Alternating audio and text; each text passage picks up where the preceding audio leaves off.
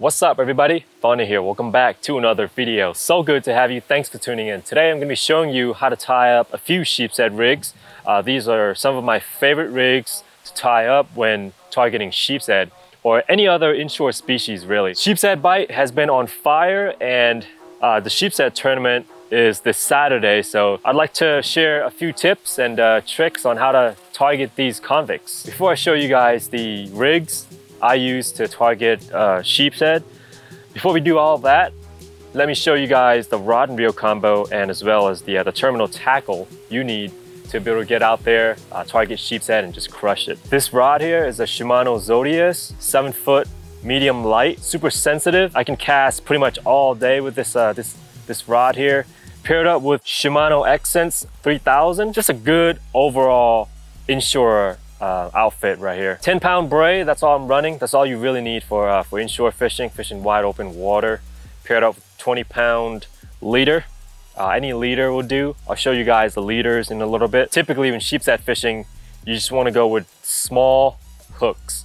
Like this one here is a Owner Gorilla Light size number one. Now you don't have to go out there and get the same exact outfit as me. Uh, there are a lot of good options out there nowadays. Another good reel would be Shimano Stradic, Shimano Vanford. 3000, 2500 is all you really need when targeting sheepshead or inshore fish really. Seven foot, medium, medium light will do. You don't have to go out there and get the most expensive gear when it comes to fishing, but uh, just, you know, get a decent, decent gear. Spend a little bit, but just don't go over the top. You know, don't go out there and buy a Stella on your first, uh, first reel as your first reel and a, you know, St. Croix Legend or whatever, but you get the point. All right, now let's talk about the terminal tackle side of the uh, fishing. Let's start off with the line. So when it comes to sheepshead fishing, I like to go as light as possible. I typically run 15 pound and uh, 20 pound. This right here is a Seaguar inshore fluorocarbon leader. This is probably the best bang for the buck. You get 100 yards for like, I wanna say 20 bucks or so. Can't beat it, holds up. Uh, I use this for pretty much everything. I'm not sponsored by any of these companies. I'm just showing you guys what I use, so keep that in mind. No sponsors, 15, uh, and like I said, you don't have to go out there and get, you know, the same exact brand as me. Uh, I just I just like these because just it's, just personal preference really. Uh, all these brands out there are really good nowadays. For 15 pound, I, I like to use Yo-Zuri fluorocarbon. Let's move on to hooks. So when it comes to hooks, like I said, you don't have to go out there and get the same exact hooks as me. Um, there's a lot of good uh, hook brands out there. I personally like the Owner Gorilla Light Size 1. The smaller the better. Um, I like it because it's super stout. That way when you set the hook on these fish, you know, you can just stick them really good and you don't have to worry about the, the hook bending or any of that. And when you're, you're dehooking the fish, like using a pair of uh, pliers, you don't have to worry about bending the hook with a, with a stouter hook. I know I've had issues with using uh, thinner wire hooks in the past. I stick them right, land at the fish, try to go unhook them, and I bend the hook. So I usually stick with a short shank uh, J hook. You can also use jig heads too. I mean, bottom sweeper jigs, which I don't have. I know a lot of guys love those. I just I just have this here. This is an Eagle Claws, I want to say a quarter ounce jig head. And you can put shrimp on there. Uh, crabs to be the best bait when it comes to uh, sheepshead fishing. I use a lot of like mangrove tree crabs, fiddler crabs, sand fleas too sometimes. All right, next, let's talk about lures you can use to target sheepshead with. My favorite lures uh, to use when it comes to sheepshead fishing would have to be these uh, chase bait crabs. You guys have seen me use these lures um, a whole lot. My personal favorite color would have to be this one here the dark back with the orange belly. They love this thing, man. As soon as this bait hits the water, they just charge at it. It's insane. I mean, I, I wish you guys could see what I see when I'm out there on the water fishing these baits. It's insane. They love it. Very effective along the, uh, the mangroves, along docks. Um, just not as good though in the wide open water. In the wide open water, you want to use something like the salty net shrimp. Uh, I mean, these are very effective too, not just for sheepshead fishing. Uh, snook will hit it. Just about, you'll catch just about anything with these uh, Ned shrimp. Um, these crabs too, you'll catch redfish sometimes and, in a black drum. But I like to rig it up with like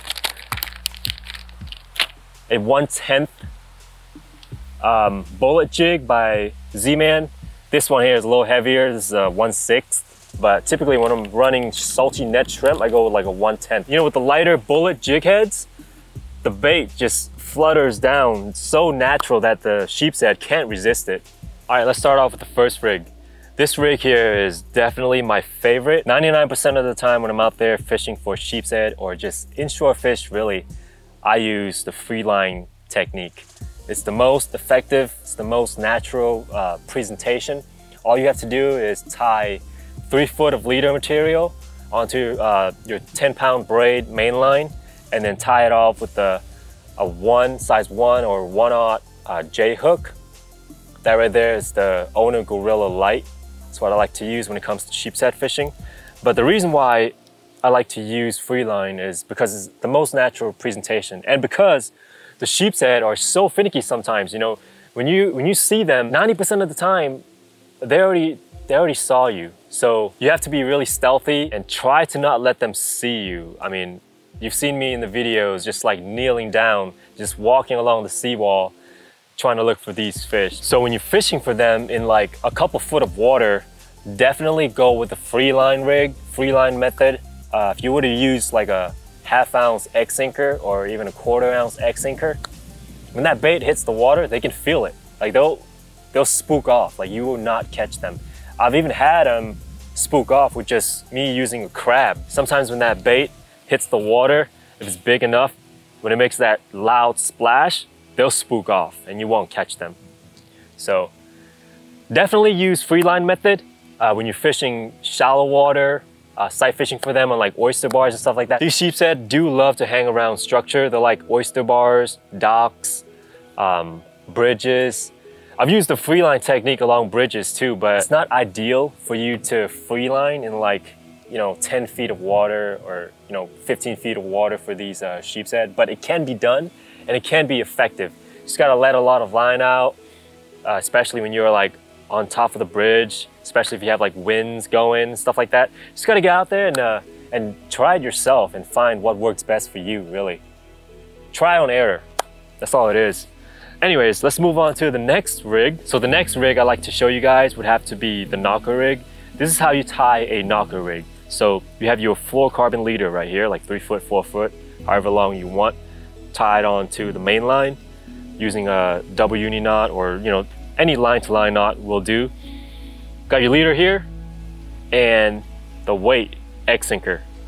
I just have happen to have uh, 3 eighths. Depends on how deep of the water you're gonna be fishing. I try to go as light as possible. I don't know. Um, I've always had success with like using lighter, lighter gear, lighter tackle, lighter outfit really.